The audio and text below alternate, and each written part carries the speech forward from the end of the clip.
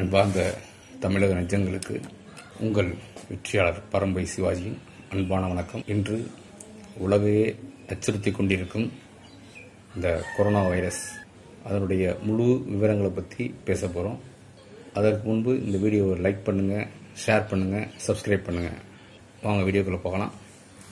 இன்னைக்கு இந்த உலகைவே அச்சுறுத்தி கொண்டிருந்த இந்த வைரஸ் இன்னைக்கு நம்ம இந்தியாவில் வந்து கட்டுக்குள்ள இருந்துச்சு.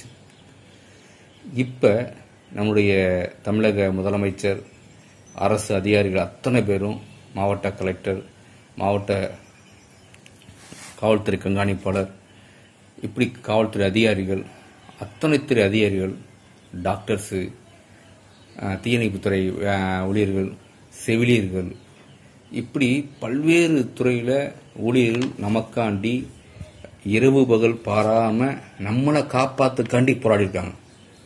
ஆனால் நம்ம அவங்கள மதிக்கிறதே கிடையாது. நம்ம உயிரை காப்பாத்துறதுக்காண்டி அவங்க பிள்ளையை விட்டுட்டு பகல் பூரா வெயில் நைட்டு கொசுக்கடியில் பார்த்து நம்மளை லாக்டவுன் பண்ணி நம்மளை சேஃபாக பயன்படுறாங்க இன்னைக்கு போலீஸ் அதிகாரிகளுக்கும் இன்னைக்கு டாக்டர்களுக்கும் வந்துட்டு இருக்கு தயவு செய்து தமிழக மக்கள் கொஞ்சம் ஒத்துழைங்க. கோயம்பேடு மார்க்கெட்டில் எவ்வளவு வேகமாக வந்துகிட்டு இருக்கு எந்தெந்த மாவட்டங்கள்லாம் கண்ட்ரோலாக இருந்துச்சோ அந்த மாவட்டங்கள்லாம் வேகமாக பரவிட்டு இருக்கு அதனால தயவுசெய்து தமிழக மக்கள் அனைவரும் ஒவ்வொருத்தரும் நம்ம கு- குழந்தைகள் முக்கியம் பெரியவங்க முக்கியம். அத்தனை உயிரையும் விலையும் மதிக்க முடியாத உயிர். தயவு செய்து அரசாங்கத்துக்கு மதிப்பளிங்க. அவன் கையெடுத்து கும்புறாங்க. என் கையெடுத்து கும்புறேன். உங்கள் குழந்தைகளோட நீங்கள் வீட்டோட இருங்க. கண்டிப்பாக இந்த கொடிய அரக்கன் கொரோனா விரட்டுறதுக்கு நம்ம எல்லாம் உறுதுணையாக இருப்போம். அதுக்கு ஒரே தீர்வு என்னன்னா தனிமையாக இருக்கிறது. இது எப்படி வந்துச்சு? அதை பற்றி ஒரு விஷயத்தை பார்க்க போகிறோம் கொரோனா வைரஸ் கோவிட் நைன்டீன் என்னென்னா கொரோனா வைரஸ் டிசீஸ். அது பேர் தான் கோ- அது ரெண்டாயிரத்தி பத்தொன்பதுல வந்ததுனால இது பேர் கோவிட் நைன்டீன் பேர் வச்சிருக்காங்க. அப்போ இது சைனாவில் டிசம்பர் மாதம் இது பரவுது. எப்படி பரவுது அப்படின்னு பார்த்தீங்கன்னா நிறைய பேருக்கு இருமல் வறட்டு இருமல் காய்ச்சல் எல்லாமே வர ஆரம்பிக்குது. அப்போ டாக்டர்ஸ்ட்ட போகும்போது நிறைய நிறைய இது நிமோனியா காய்ச்சலாக இருக்குமா அப்படின்னு பயப்படுறாங்க. அப்போ சாதாரண காய்ச்சல் மாதிரி தெரியலையே அப்படின்னு நினச்சி உடனே டாக்டர்ஸ் நிறையா டெஸ்ட் எடுத்து ஆராய்ச்சி பண்ணும்போது இது வித்தியாசமான காய்ச்சலாக இருக்குது அப்படின்னு டாக்டர்கிட்ட கவர்மெண்ட்டை சொல்கிறாங்க சைனா கவர்மெண்ட்டை சொல்கிறாங்க டாக்டர் அட்வைஸை அவங்க யாரும் கண்டு சீனா கவர்மெண்ட் வந்து கண்டுக்கிறவே இல்லை. அதன் விளைவு வந்து பார்த்தீங்கன்னா நிறைய பரவ ஆரம்பிக்குது. ஃபீவர் வந்து பார்த்தீங்கன்னா நிறைய பேருக்கு வித்தியாசமாக இருந்தனால அந்த சைனா கவர்மெண்ட் வந்து அலட்சியமாக இருக்கிறாங்க. அப்போ அந்த அலட்சியம் இந்த விளைவு என்ன அப்படின்னு பார்த்தீங்கன்னா இந்த டிசீஸ் வந்து எது மூலியம் பரவுது அப்படின்னு பார்த்தீங்கன்னா பொதுவாகவே ஒரு கிருமி பரவுதுன்னா மனிதர்களுக்கு வந்து அவ்வளவு சீக்கிரம் தாக்காது. உயிரை கொள்ளக்கூடிய ஒரு விஷயம் எது அப்படின்னு பார்த்தீங்கன்னா நிறைய கடந்த காலங்களில் பார்த்துருப்பீங்க. பறவை காய்ச்சல் பன்றி காய்ச்சல் எலி காய்ச்சல் இப்போ லேட்டஸ்டாக வவ்வால் மூலமாக தான் பரவியிருக்கு அப்போ இந்த கிருமி பார்த்தீங்கன்னா எறும்பு திணி மூலியமாக பரவுது அப்படின்னு சொல்கிறாங்க எந்த அளவுக்கு? உண்மையும் தெரியல. அப்போ இதனுடைய ஹிஸ்ட்ரியை பார்த்தீங்கன்னா எப்படி இந்த சைனாவில் வந்து நிறைய பேர் ஆடு மாடு இதெல்லாம் திங்கிறாங்க பாம்பு திங்கிறாங்கன்னு சொல்கிறாங்க அப்போ இந்த கிருமி எப்படி உருவாகுது அப்படிங்கும்போது அந்த உகான் மாநிலத்தில் இதுக்காகவே இந்த கே- ஆடு அதாவது விலங்குகளுக்காகவே ஒரு ஃபுட் மார்க்கெட் இருக்கு. அந்த ஃபுட் மார்க்கெட் பார்த்தீங்கன்னா ரொம்ப பெருசு. அதில் இல்லாத உங்களுக்கு விலங்குகளே கிடையாது. சாதாரண ஒரு பாம்புலேருந்து தேவிலேருந்து நாயிலிருந்து ஓனான்லேருந்து பன்றியிலேருந்து உங்களுக்கு ஒட்டகத்திலிருந்து சிங்கத்து என்னென்ன விலங்குகள் இருக்கோ பாம்புல அத்தனை விலங்குகளும் அந்த ஃபுட் கிடைக்கும். அதை எப்படி சாப்பிட்றாங்கிறது நமக்கு அது புதுசாக தெரியும். ஆனால் அதுக்குடைய வரலாறே இருக்குது எப்படி வரலாறு அப்படின்னு பார்த்தீங்கன்னா சீனா இன்னைக்கு இந்த சீனா இப்போ கிடையாது. ஒரு ஐம்பது வருடங்களுக்குள்ள அந்த சீனா எப்படி இருந்துச்சு அப்படின்னு பார்த்தீங்கன்னா செவன்டிஸ் அந்த பீரியடில் வந்து பார்த்தீங்கன்னா அப்போ அந்த காலகட்டத்தில் சீனா வந்து பெரிய பாப்புலேஷன் வேர்ல்ட்லேயே வந்து நம்பர் ஒன் பாப்புலேஷன் கூடிய மக்கள் தொகையில் அவங்க தான் அப்போ அந்த மாதிரி காலகட்டத்தில் அந்த ஆயிரத்தி தொள்ளாயிரத்தி எழுபது அந்த காலகட்டத்தில் மிகப்பெரிய பஞ்சம் தலை வைத்தவங்க அவங்களுக்கு வந்து சாப்பாடு போட முடியல. அப்போ அந்த கவர்மெண்ட் வந்து ஒன்றுமே செய்ய முடியல ஆயிரத்தி எழுபத்தி எட்டு அந்த காலங்களில் அந்த சாப்பாடு போட முடியாது நிறைய பேர் இறக்க ஆரம்பிக்கிறாங்க. அப்போ அந்த அரசாங்கத்துக்கு ஒரு ஆலோசனை சொல்கிறாங்க இந்த விலங்குகளை வந்து அலோவ் பண்ணலாமே அப்படிங்கும்போது அப்போ காட்டில் உள்ள விலங்குகள்லாம் வந்து பார்த்திங்கன்னா அன்னைக்கு அடிச்சு கொண்டு பாம்பு பள்ளி எல்லாம் என்னென்ன இருக்கோ அதை சாப்பிட ஆரம்பிக்கிறாங்க. அந்த பஞ்சத்தில் மட்டுமே கிட்ட பார்த்தீங்கன்னா அன்னைக்கு உள்ள சர்வேல வந்து சுமார் ஒரு மூன்றரை கோடி பேர் இறந்துறாங்க. ஒரு தொண்ணூறு கோடியில் ஒரு மூன்றரை கோடி பேர் இறந்துறாங்க பஞ்சத்தில் மட்டும். அப்போ அந்த அரசாங்கம் வந்து அதை அலோவ் பண்ணிடுறாங்க. ரெண்டாயிரத்தி மூணில் மீண்டும் ஒரு நோய் பரவும்போது அதை பேன் பண்ணுறாங்க அதுக்கப்புறம் அந்த நோயை கட்டுப்படுறாங்க சார்ஸுங்கிற ஒரு வைரஸை கட்டுப்படுத்துறாங்க. கட்டுப்படுத்தின பிறகு மீண்டும் அதை அலோவ் பண்ணிடுறாங்க.